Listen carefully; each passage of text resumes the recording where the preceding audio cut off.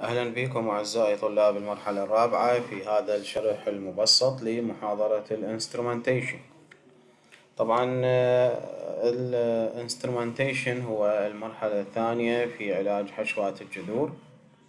بعد ما اطلعتوا من قبل زميلي دكتور علي حسان على موضوع ال access opening اللي هي ال access طبعا المرحلة الأولى اللي يضمن لك direct access من ال coronal cavity إلى ال canal wall وإلى ال pulp chamber وإلى ال orifices of the canals طبعا بعد ال access opening أول شي نسويه هو removal of the inflamed pulp by using a approach Uh, the removal of the pulp was uh, followed by uh, the instrumentation. طبعا قبل ال instrumentation لازم ناخذ ال working length of the canal.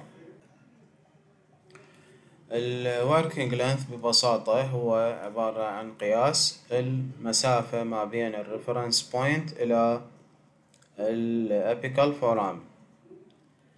ال apical foramen هي بال radiograph. إحنا نحددها مليم عن نهاية الجذر فراح يكون عندي ال working length دائما لازم يوصل من ال reference point ال reference point هي النقطة اللي راح نخلي عليها ال stopper اللي هي القطعة مطاطية تكون على ال intra canal instrument حتى نسيطر على to control length حتى نقيس ال length هذا ال length يكون من نقيسه ال stopper يكون على ال reference point ال reference point هي عبارة عن فد fixed point أما تكون مثلا incisal edge أو cusp of the canine أو مثلا cusp in premolar أي نقطة ثابتة تكون على ال crown of the tooth هي ممكن نستخدمها كدليل لقياس ال working length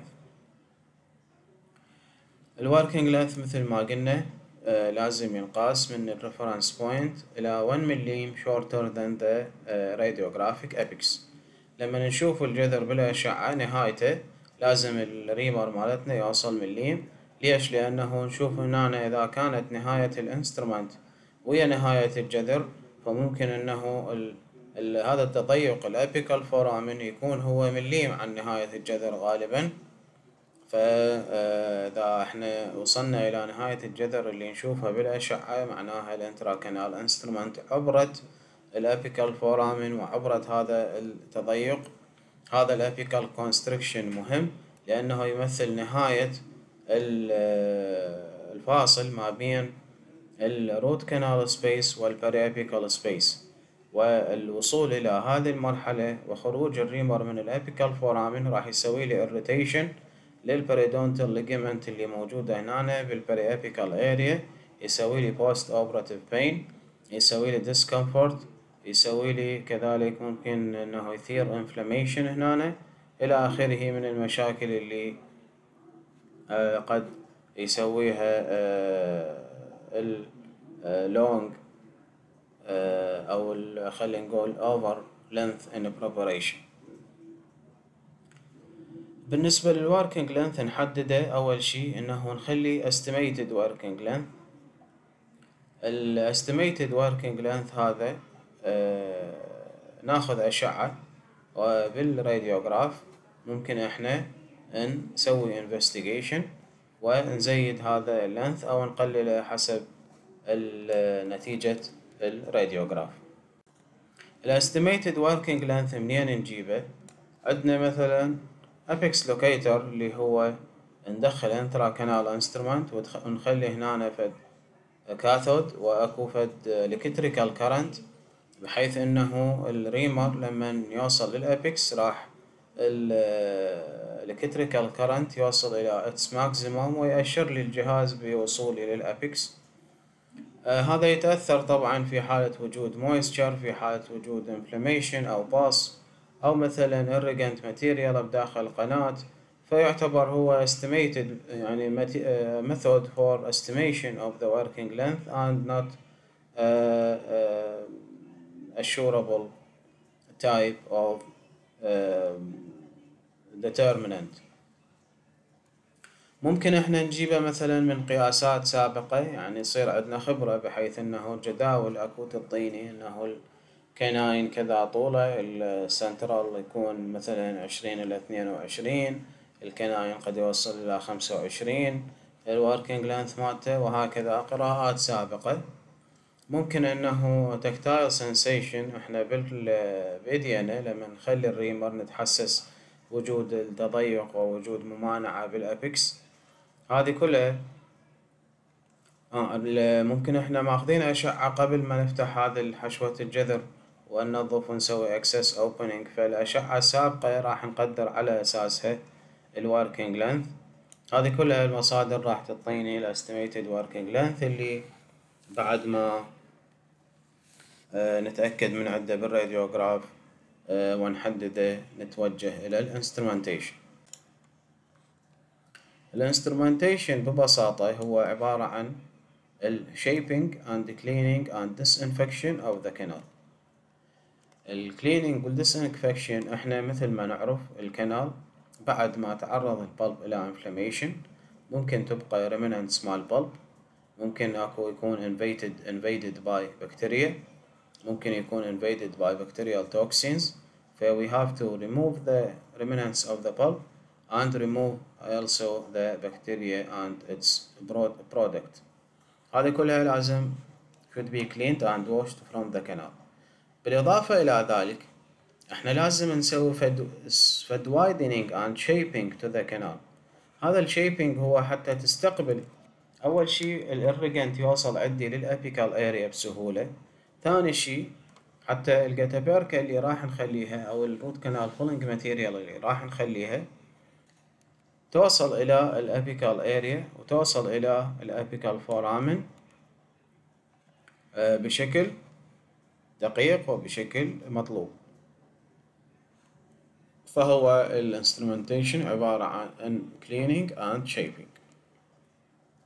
الشكل القناة اللي نريده بعد ما نسوي instrumentation هو يكون الشكل قمعي. التضيق بال apex وتكون أكو يعني توسعة للقناة بال coronal area هذا يسموه funnel shape ال funnel shape هو tapered smooth tapered preparation يعني تضيق بال apex وأكو عندي توسع بال middle وال coronal part هذا يسهل لي غسل القناة وتنظيفها ويسهل لي ولوج الجتابركة إلى ال apical foramen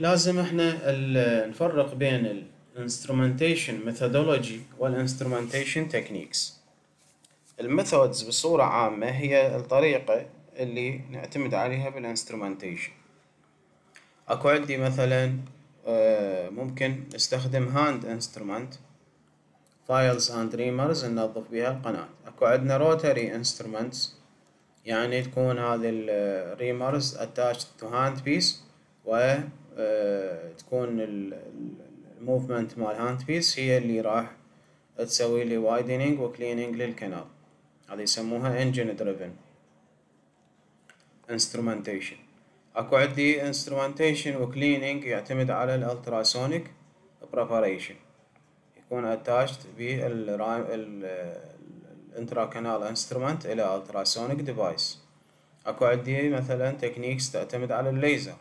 tips ندخلها بداخل قناة وتضرب ليزر وتنظف القناة. فاكو هواية methodology لل instrumentation أبرزها طبعا ويعني اللي لازم إحنا نطلع عليه وندرسه هو ال hand instrumentation اللي راح ناخذه بهاي السلايدات.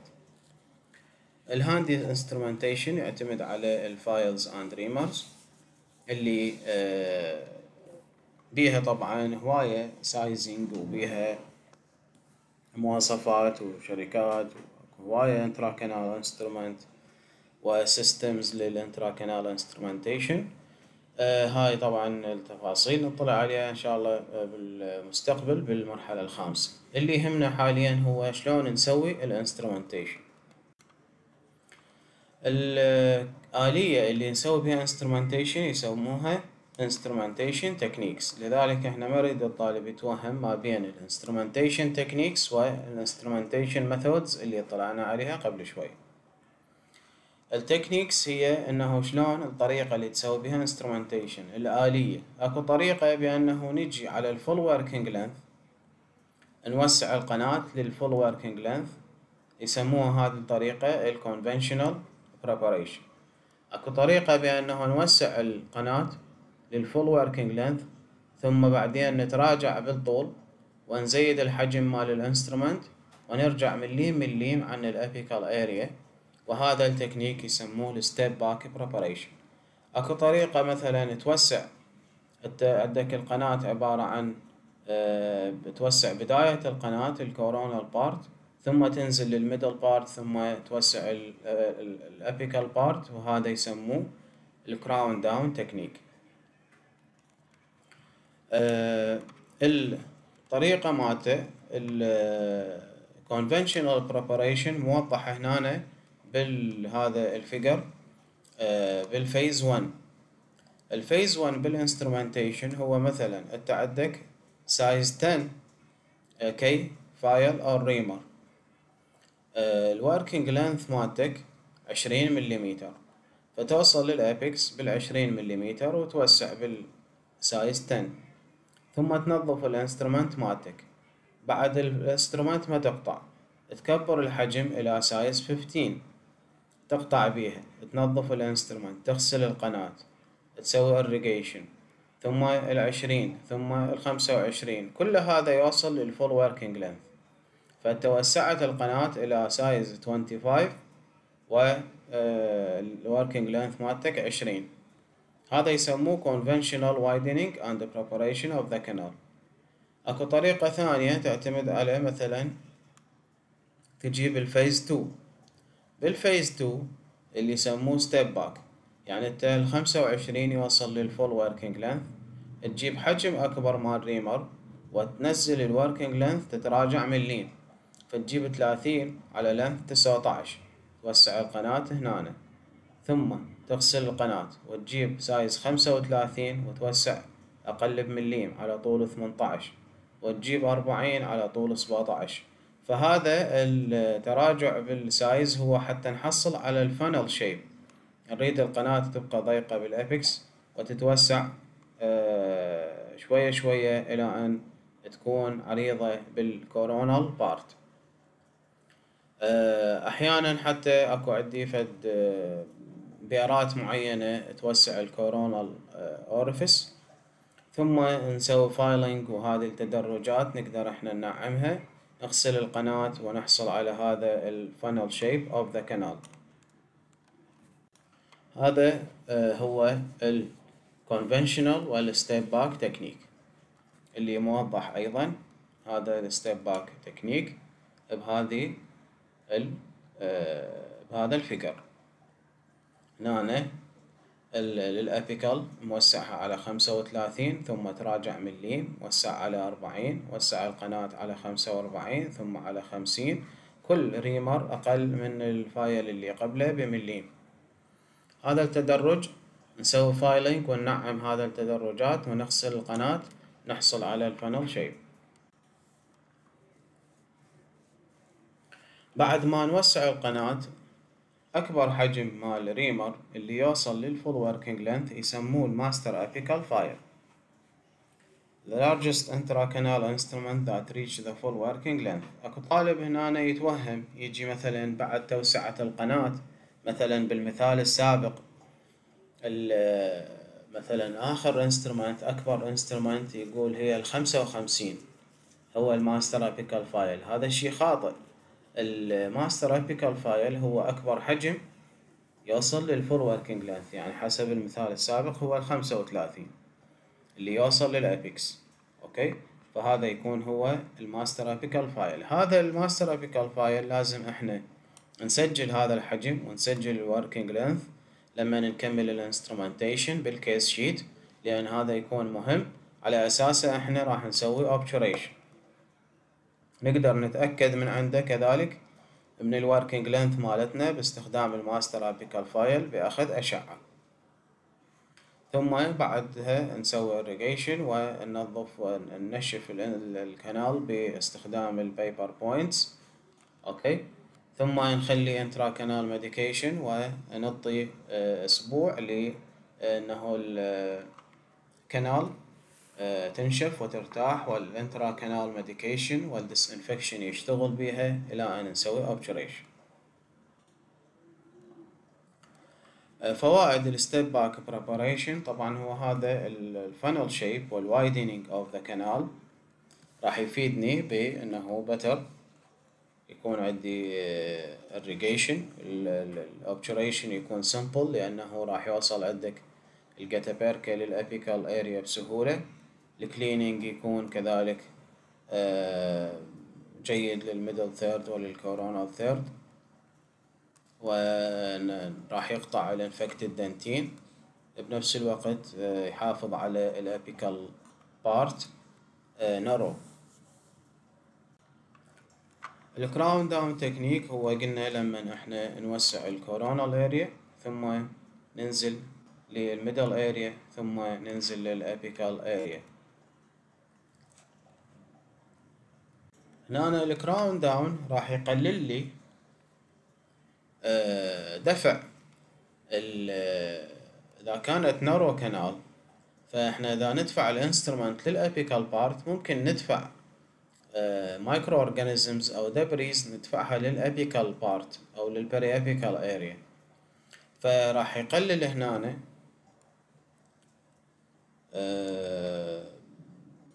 remove the tissue and microbes before apical third is approach فاحنا نقطع راح ننظف ال coronal part وال middle part لما نوصل ال instrument لل apical part هنا ماكو فد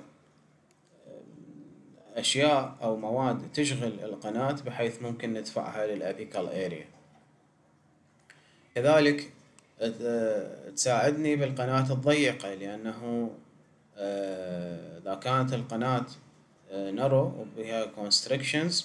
فالوصول لل apical area يكون difficult. فإحنا نوسعها coronally بعدين نقدر نوصل لل apical area إذا بها curvature الوصول لل apical area يكون صعب. إذا وسعناها coronally نقدر نوصل لل apical area The tactile awareness during apical preparation يعني شنو؟ يعني إحنا لما راح نوسع ال coronal وال middle third ف يعني المقاومة اللي يتعرض إلها ال reamer أثناء تحضير ال apical part إحنا راح نحسها بإيدينا. ال tactile awareness هو الإحساس باللمس اللي أنت لما تستخدم ال reamer تحس بحركة ال reamer بداخل القناة وإذا لقيت تضيق أو ممانعة أو curvature راح بال apical area أنت راح تحس بيها وتسيطر على حركة ال reamer. إذا مثلا وسعنا ال coronal وال middle third فالغسل وال irrigant اللي راح ندفعه بال apical area راح يطلع بسهولة من ال coronal area ف better irrigation. مثل ما قلنا توخر ال tissue remnants وال microbes قبل ما نوصل لل apical third فتحافظ على ال periapical area. The change in working length يعني أنت مثلا إذا أثناء العمل يعني كان غير واضح عندك ال working length وحاولت إنه تعدله فممكن تعدله بسهولة بدون ما تسوي irritation لل periapical area لأنه أنت ما واصل لل apex شغلك كان في بداية العمل هو بال coronal وال middle third ثم لما إذا تريد تأخذ الأشعة وتعدل فأنت يكون عملك بال apical part كلش محدود ولفترة قصيرة. هذه كلها فوائد لل crown down technique مثل ما نشوف ال crown down هو نستخدم large instrument apically large instrument apically نغسل القناة ثم نتدرج. ننزل بعد من اليمين ثم ننزل بعد نوصل ال apical third طبعا هذا هنا أكو small size instrument توصل لل apical part حتى إذا جمعت بيها debris ممكن إنه تطلعها. نغسل القناة بين size و size نوصل لل apical part ونوسعه. بهالحالة سوينا إحنا crown down technique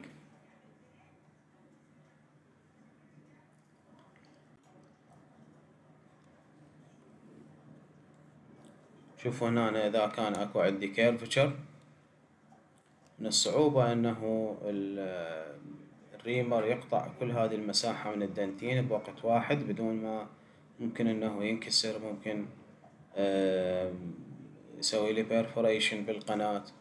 فإذا أنا وسعت مثلا هذا ال coronal part ووسعت ال middle part شوفوا ال instrument هنا راح تدخل بسهولة لل apical area وتلقى ممانعة قطع فقط بال apical third